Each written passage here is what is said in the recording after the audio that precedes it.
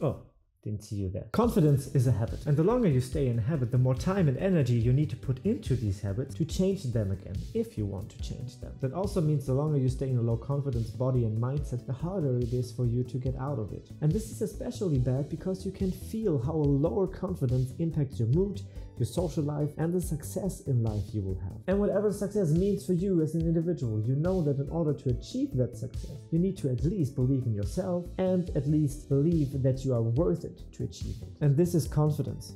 The mindset for me back then and for a lot of people that struggle with confidence is that they think and feel and also have the evidence that other people will ignore them and that they not fit in anyways. It goes so far that people with low confidence diagnose themselves with depression or being that extreme introvert. And this is a huge misconception. The mindset probably is that people will ignore you anyways, that good things happen to the other people, not you, and that you're just someone. And this creates a huge problem when this is not fixed because you get used to that. You get used to how people will treat you and how people will see you and how people behave around you. And you think, you feel that this is the appropriate way to talk to you, treat you, or to behave around you. But it's not. It's just a habit. If you don't believe in yourself, no one will. And the way people react to you is a direct mirror to the way you think about yourself. So fix this by doing this.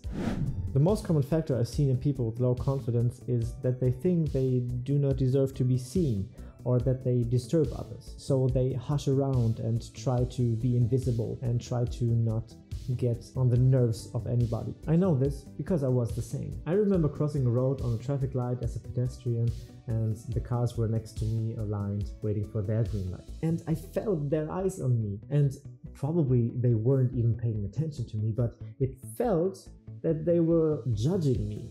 So I did not know how to walk anymore. It was such a weird feeling. All my attention went into the walking, something which is in my subconscious mind, which I do not need to pay attention anymore to. I know that so many people feel the same because they had the exact same experiences. The fear of public speaking is greater than the fear of death. That means that on a funeral, the guy in the coffin is better off than the guy holding the eulogy. If you feel the need to hide from the world or people in general, you might suffer from low confidence. But there are easy fixes for that, that everyone can accomplish.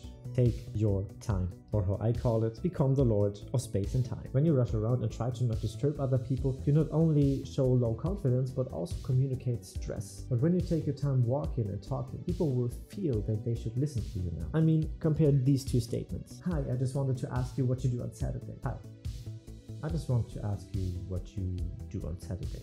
You see how a slower pace conveys more confidence and also gives you the time to put in more confidence. Approach space the same. When you take less space for yourself, you also communicate low confidence. But don't confuse this now with the more space you take, the more confident you are. The rule of thumb is to have an open and inviting body language while you're taking your space. That shows other people that they are safe around you. And it also shows that you're relaxed with your time and space. Showing that people are safe around you and that you are relaxed with your time and space is a huge part of a confident body language. And it will give you a feeling of more control of the situations you're in and you will feel more confident. And why shouldn't you? After all, you are the lord of space and time. Implementing steps for effortless confidence are good and all, but it won't help if you still care about what other people think of you. So watch this video to get your non-BS guideline to not care what other people think of you anymore, so it won't affect your life anymore. And I will see you in that video.